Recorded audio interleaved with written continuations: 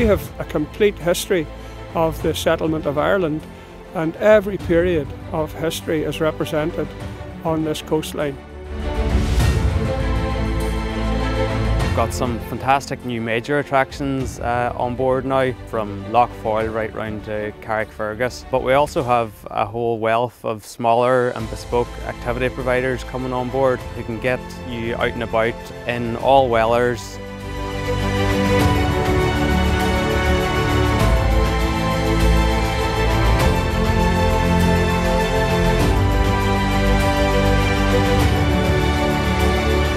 coastline is just beautiful. I love the fact that in Northern Ireland you're no more than 35 miles from the sea at any one moment, which makes it great if you want to come up to Portrush, do some surfing, or we have plenty of opportunities for kayaking or even sailing. I mean, it's just wonderful.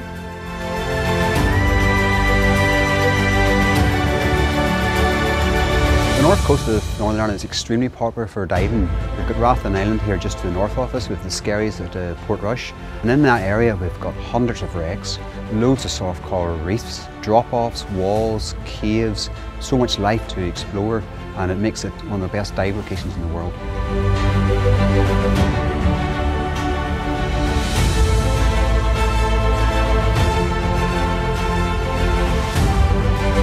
We're fortunate around Northern Ireland to have exceptionally rich seas full of life. Uh, we've records for more than 18 species of whale, dolphin and porpoise, two species of seal, 11 species of shark, skate and ray, including some of our large protected species.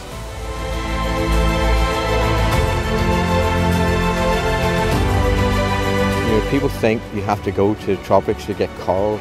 We have them here. Only seven, eight years ago in Rathlin, you know, we discovered 21, 22 species of sponge new to science never described before.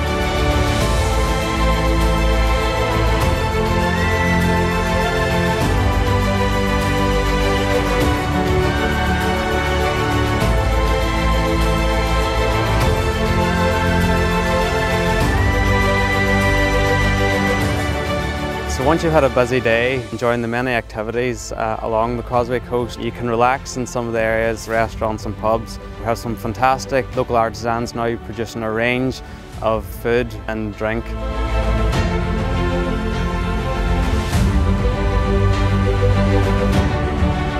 I would say to anyone who is visiting Binevenagh and the Causeway Coast and Glens area, immerse yourselves in the uniqueness of our area take part in activities that um, you've never tried before and enjoy every minute of it. Because The Causeway Coast and Glens is so diverse. It's got its beaches, it's got its cliffs, its caves. There's nowhere else like it.